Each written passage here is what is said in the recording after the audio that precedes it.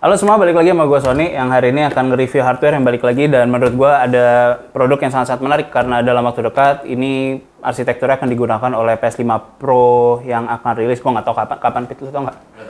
Ya, pokoknya harusnya dalam waktu dekat itu rilis, terus harusnya di tahun depan mungkin udah mulai banyak handheld yang akan menggunakan uh, arsitektur yang mirip ya, dengan uh, 8600G atau 8700G itu dengan RDNA. Jadi uh, di versi ini kenapa menurut gua sangat-sangat menarik ya karena ada dua 87G sama 8600G.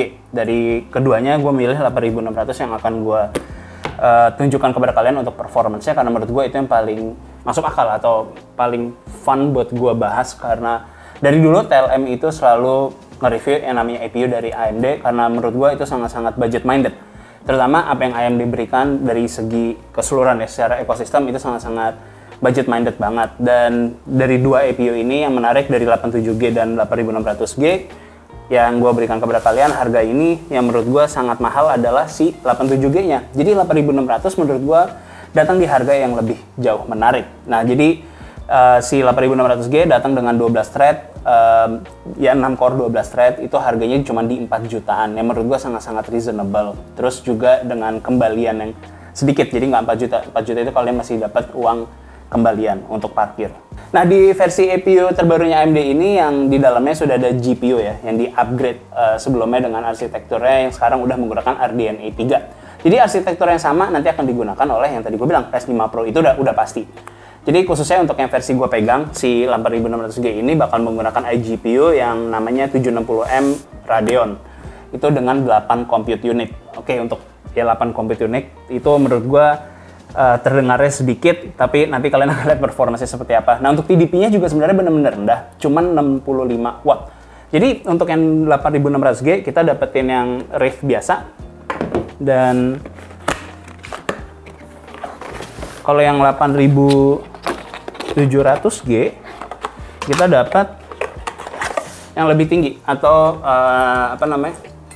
Namanya itu rate apa ya? Pokoknya ini setahu gue namanya rate staff. Jadi kalian bisa ngeliat di sini nanti harusnya ada b-rollnya tapi uh, ukurannya memang lebih besar yang kalau kalian beli yang 8700G nah jadi emang minim banget pengeluaran untuk kedua seri APU-nya ini karena ya kita udah mendapatkan cooling yang masuk akal mengingat ini dipakai mungkin banyak orang untuk sebagai sistem integrator atau untuk kantoran atau keperluan sekolah yang kalian beli langsung banyak atau karena ruangan itu terbatas. Jadi bikinnya itu di apa ya SFF atau mini IPX gitu misalnya.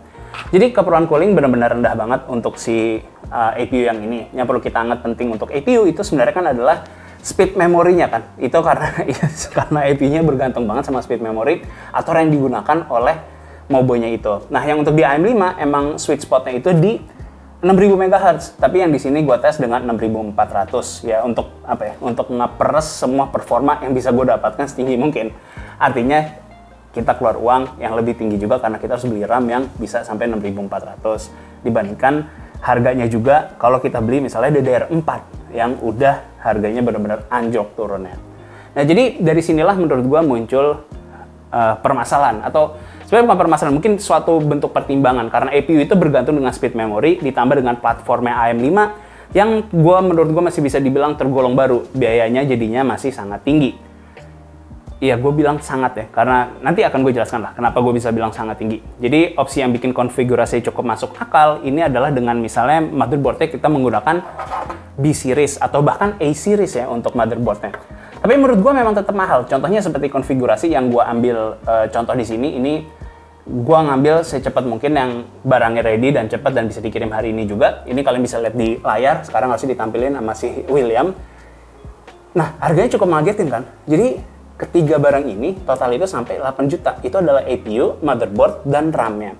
Terus dengan harga ini kita mendapatkan performa gaming seperti apa? Ini sekarang kita lihat performa untuk keperluan gaming dengan APU yang menggunakan arsitektur sama dengan apa yang akan digunakan oleh konsol yang akan sebentar lagi hadir. Nah, untuk tes ini kita akan tetap menggunakan standar yang biasa kita gunakan untuk benchmark di TLM dan presetnya juga. Kalian bisa lihat di sini untuk beberapa mayoritas game AAA yang biasa kita uji di 1080, ini semua performanya masih di atas 30 FPS average. Oke, untuk one percentnya memang bisa turun sampai di bawah 30. Tapi frame time-nya ini benar-benar aman. Nggak ada lonjakan yang benar-benar parah yang bikin gamenya kerasa unplayable. Valhalla yang tergolong berat di mana butuh CPU dan GPU yang tinggi pun juga masih sangat baik performanya untuk satu APU dan dengan preset yang cukup tinggi, hal yang sama terjadi di Far Cry dengan hasil yang tinggi mencapai di atas 40 FPS. Yang menurut gue ini udah menjadi lolos minimum playable. Jadi di Watch Dogs kita juga lihat hal sama dengan Valhalla yang sama-sama memerlukan CPU dan GPU. Jadi kita bisa lihat kesanduknya ada di game yang memang paling berat, yaitu adalah di Metro Exodus dengan preset Ultra. Yang menurut gue salah satu game paling berat sampai detik ini. Nah, untuk kasusnya Cyberpunk, ini juga memang dengan preset yang sangat tinggi. Tanpa upscaling apa-apa, hasilnya seperti ini. Tapi dengan kita menemukan preset tanpa menggunakan upscaling, hasilnya itu sangat baik. Apalagi kalau kita lihat di preset medium buat game-game yang cuma kena 30 FPS-an di preset high, kalian bisa melakukan 40 FPS dengan sangat nyaman. Nah, jadi untuk keperluan gaming, emang ini loncatan yang tinggi banget ya. Untuk suatu APU ini mungkin bisa dibilang posisi yang sangat menarik, terutama buat kita yang main di 1080. Karena kita bisa main game-game AAA, yang masih dibilang tergolong baru atau cukup berat di 1080 dengan preset yang high di atas 30 fps untuk mayoritas game yang bisa dibilang masih tergolong baru atau menggunakan engine yang masih baru.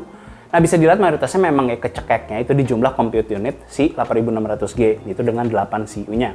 Nah apalagi kalau kita bandingkan dengan APU lamanya AMD dalam bentuk 5600G, loncatan performa gamingnya itu bisa mencapai 70%. Nggak usah di preset high, itu kita nggak bisa melakukan FPS. Bahkan di medium pun dengan 5600G di 1080 kita masih sulit banget untuk mendapatkan lolos minimum playable. Dan menurut gue playable itu kan di 40 FPS kan, minimum ya. Nah jadi salah satu keuntungannya kita menggunakan platformnya dari AMD, menurut gue adalah karena soketnya bertahan lama. Jadi sama halnya menggunakan AM4 seperti gue sekarang, itu masih bisa menikmati 5800 X3D atau ada 5700 X3D yang memperpanjang umur dan minimnya bangkai elektronik lah. Jadi kita nggak perlu ngebuang karena sampai detik ini gue juga masih menggunakan 5800 X3D untuk gaming dan di 4K. Nah jadi investasi awal untuk motherboard yang mungkin bisa dibilang sangat mahal, jadi kerasa worth it karena kita dimanjakan dengan jalur upgrade yang gampang banget yang disediakan oleh AMD. Tapi harus kita akuin kalau ini, uh, terutama untuk saat ini ya, harganya ini menyebabkannya jadi tinggi banget untuk orang mau adopsi ke AM5 dengan mengambil misalnya si 8600G ini. Dan kalau targetnya adalah untuk apa ya, kita bilang, oh ini gue buat future proof, gue beli motherboard yang mahal. Terus kalian beli 8600G. Ya, mungkin itu menjadi opsi yang viable. Kalau kalian males lagi misalnya jual platform kalian yang lama, kalau kalian misalnya sekarang beli, oh yaudah gue beli AM4 aja, ntar kalau gue ada duitnya, gue mendingan langsung beli motherboard yang lebih mahal dan nggak perlu 8600G, nggak perlu APU, atau kalian loncat ke 7800 X3D gitu. Tapi kita perlu ingat bahwa 8600G itu nggak diperuntukkan untuk digunakan bersama discrete GPU kan. Jadi kalau kalian misalnya mikir, oh gue beli ini, nanti kalau misalnya ada duit, gue tinggal beli GPU tambahan. Nah, jadi dia ini ada limitasi PCIe lanes-nya yang hanya misalnya di 4 di PCIe 4 jadi walaupun GPU terkencang pun juga nggak memerlukan speed di PCIe 5 juga, tapi kita itu terlimitasi dengan jumlah PCIe lanes dengan menggunakan APU-nya AMD 8600 maupun 8700G. Jadi karena limitasi tersebut kita jadi harus membahas masalah yang tadi di awal, yaitu adalah dengan harga. Bahwa dengan spesifikasi tersebut, kita bisa menggunakan platform lamanya AMD dalam bentuk AM4, mendapatkan performa gaming yang jauh lebih kencang dari yang kita lihat berdasarkan APU-nya itu kalau sendirian nih, dia doang. Contohnya adalah dengan 5600, motherboard kalian pilih apa pun, ya uh, saran gue ya B series ya minimal. Terus ada RAM dan ditambah GPU dedicated dengan RX 6600 misalnya. Dengan total harga yang gue bikin tadi, itu harganya masih konfigurasi di bawahnya dengan kita ngebangun PC berbasiskan APU 8600G.